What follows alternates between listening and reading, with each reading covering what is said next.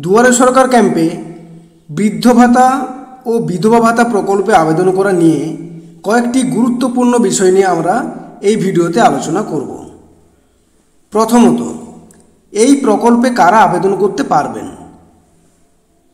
General, SC, ST, OBC প্রত্যেকেই এই প্রকল্পে আবেদন করতে পারবেন।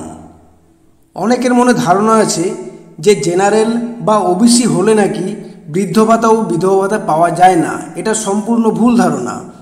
আপনি যদি জেনারেল বা ওবিসি হয়ে থাকেন, তাও আপনি এই প্রকল্পে আবেদন করতে পারবেন। এবার, আপনার বিপিএল লিস্টে নাম থাকুক বা না থাকুক, তার সাথে এটার কোনো সম্পর্ক নেই। আপনি বিপিএল হলেও বৃদ্ধ ভাতা বা বিধবা ভাতার জন্য অ্যাপ্লাই করতে পারবেন এবং বিপিএল না হলেও বৃদ্ধ ভাতা এবং বিধবা ভাতার জন্য অ্যাপ্লাই করতে পারবেন। তো বৃদ্ধ ভাতা আবেদনের জন্য আপনার বয়স হতে হবে ষাট বছর এবং আপনার ফ্যামিলির ইনকাম হতে হবে প্রতি মাসে এক হাজার টাকার মধ্যে। এই দুটো কন্ডিশন যদি আপনি ফুলফিল করেন তাহলে আপনি বৃদ্ধ ভাতা পেয়ে যাবেন। বিধবা ভাতার ক্ষেত্রে বয়স হতে হবে আঠেরো বছর এবং মান্থলি ইনকাম বা মাসিক আয় হতে হবে এক হাজার টাকার মধ্যে। এইগুলো হলেই আপনারা বৃদ্ধ ভাতা ও বিধবা ভাতার জন্য আবেদন করতে পারবেন। এবার দেখে নিন আপনি কত নম্বর ফর্ম ফিল করবেন। এবারের ক্যাম্পে যে ফর্মটা দেওয়া হচ্ছে বৃদ্ধ ভাতা বা বিধবা ভাতার জন্য, সেটা হচ্ছে এই ফর্মটা।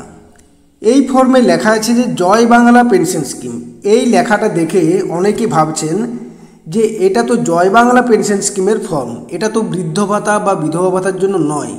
এটাও একটা ভুল ধারণা।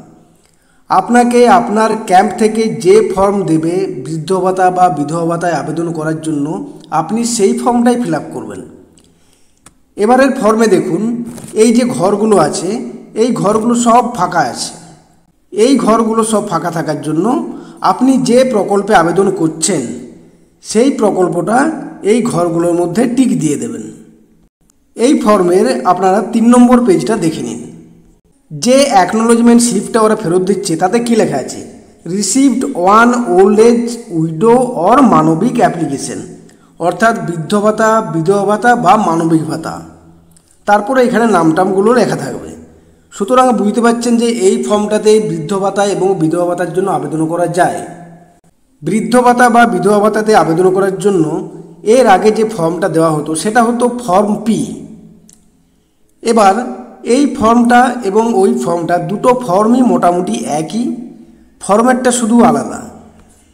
তো আপনাদের ক্যাম্প থেকে যে ফর্মটা আপনাকে দেওয়া হবে, যদি ফর্ম পি দেয় তাহলে ফর্ম পি ফিল করবেন। যদি ওই ফর্মটা দেয় তাহলে ওই ফর্মটা ফিল করবেন। এতে কোনো অসুবিধে হবে না।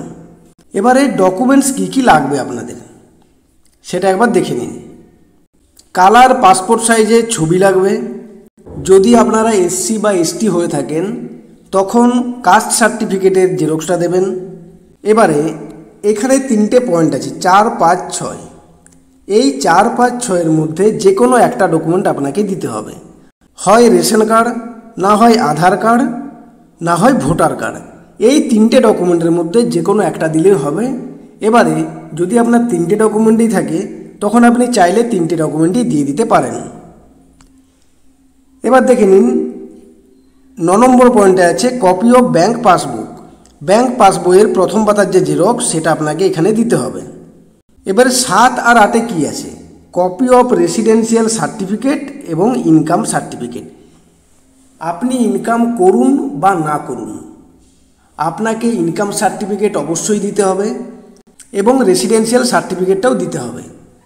তবে এক্ষেত্রে একটা কথা বলে রাখি আপনার ইনকাম সার্টিফিকেটের মধ্যে যদি আপনার রেসিডেন্সিয়াল অ্যাড্রেস বা এসব লেখা থাকে, তাহলে আলাদা করে আর রেসিডেন্সিয়াল সার্টিফিকেট দেওয়ার কোনো দরকার নেই। তখন শুধু ইনকাম সার্টিফিকেটটা দিলেই চলবে। এই ইনকাম সার্টিফিকেটটা আপনারা পেয়ে যাবেন পঞ্চায়েত বা মিউনিসিপ্যালিটি থেকে। প্রত্যেকটা ডকুমেন্ট জেরক্স করার পর তার নিচে সই করবেন, সই করে আপনারা এটা জমা দেবেন। এবার দেখে নিন ইনকাম সার্টিফিকেটের ফরম্যাটটা কীরকম হয়।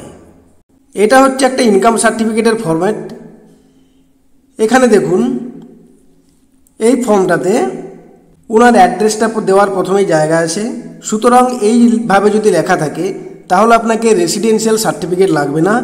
এবং নিচে এখানে কি লেখা আছে? ওনার পরিবারের মাসিক বা বাৎসরিক আয় আনুমানিক কত টাকা? আপনাদের এই রকম একটা সার্টিফিকেট পঞ্চায়েত বা মিউনিসিপ্যালিটি থেকে নিয়ে সেটা এটা জমা করতে হবে। এক্ষেত্রে আপনার ইনকাম হতে হবে প্রতি মাসে এক হাজার টাকার মধ্যে। এক হাজার টাকার বেশি যদি হয়, তখন কিন্তু আপনি বৃদ্ধ ভাতা বা বিধবা ভাতা পাবেন না।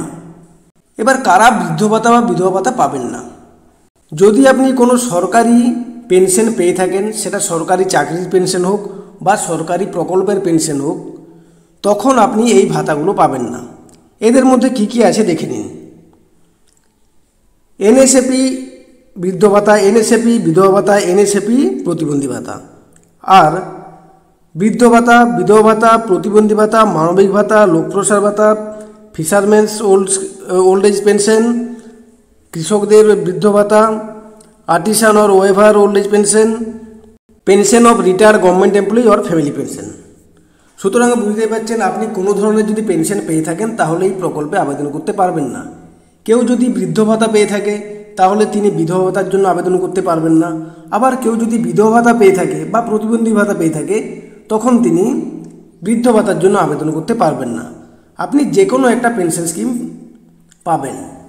যদি আপনার স্বামী চাকরি করে বা পেনশন পায়, তাতে কোনো প্রবলেম নেই। কিন্তু আপনার ফ্যামিলি ইনকাম হতে হবে প্রতি মাসে এক হাজার টাকার মধ্যে। যদি আপনার ডেট অফ বার্থ জানা না থাকে, অর্থাৎ আপনি শুধু আপনার সালটা জানেন মাস এবং বছর জানেন না। তখন ক্যালকুলেশনটা কীভাবে করবেন? তখন ফার্স্ট জুলাই আর যে সালটা দেওয়া আছে, সেই সালটা ধরে আপনাকে ক্যালকুলেশন করতে হবে। এবার, যদি কারও ক্ষেত্রে মাস এবং বছর জানা থাকে, কিন্তু দিনটা জানেন না, তখন ষোলো তারিখের ওই মাসের ষোলো তারিখ থেকে আপনার এজটা ক্যালকুলেশন করতে হবে। এই দুটো খেয়াল রাখবেন। ধন্যবাদ।